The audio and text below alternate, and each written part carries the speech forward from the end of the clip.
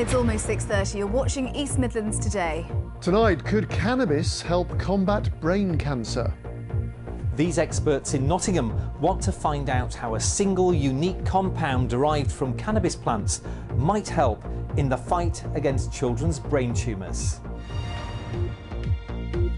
Good evening. Welcome to Tuesday's programme with Dominic Heale and me, Geeta Pendse.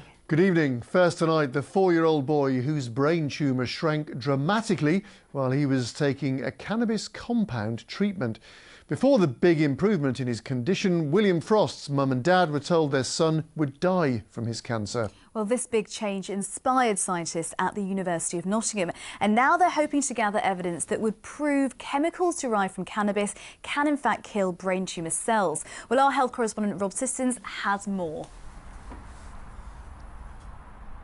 Yes, Geeta, Dominic, this is a case that has really got doctors talking. It's fascinating as to why this child William's tumour has gone down in size so much. Could it be to do with the cannabis oil that he's been taking? Could it be to do with a special diet? That's what experts at the Nottingham Queen's Medical Centre Children's Brain Tumour Research Unit behind me now hope to investigate. William was diagnosed with a brain tumour three years ago, and after two major operations, his mum and dad at Newark were warned to expect the worst. Tumour was still growing, so in about April, we were told last year that there wasn't anything else that the NHS could offer. Hilary and Steve, though, were determined not to give up. We started William on a ketogenic diet, which has been supported by QMC. Um, that in itself is very hard because it means William can't eat a lot of carbohydrates.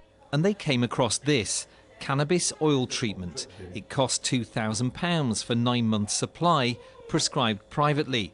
But they say the potential benefits are priceless. We uh, found a private clinic who um, offered to give him synthetic uh, cannabidiol, which is uh, one of the compounds of, of cannabis that's non, non-psychoactive. And we've had William on that now for almost a year and what a difference a year makes.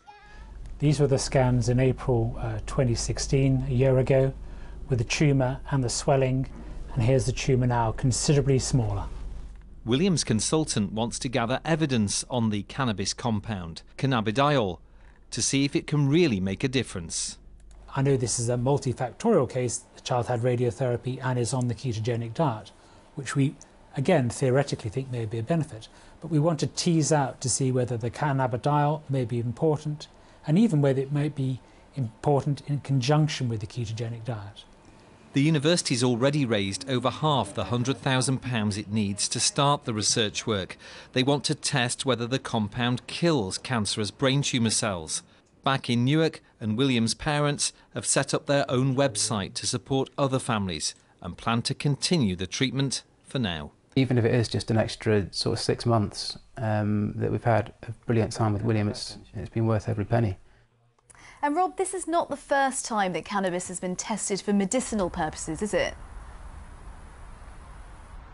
Not at all, Geeta. I've reported years ago from Nottingham's Queen's Medical Centre on tests that were going on to do with multiple sclerosis. And these days there is one prescription medication available for people with MS to ease muscle pain that's based on cannabis substances.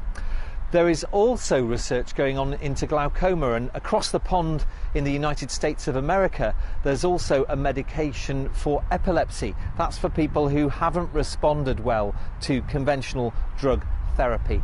It's interesting work in Nottingham, but they've got to get more money if they're to do a full scale trial. But they are well on the road to doing some initial work. OK, Rob, thank you very much.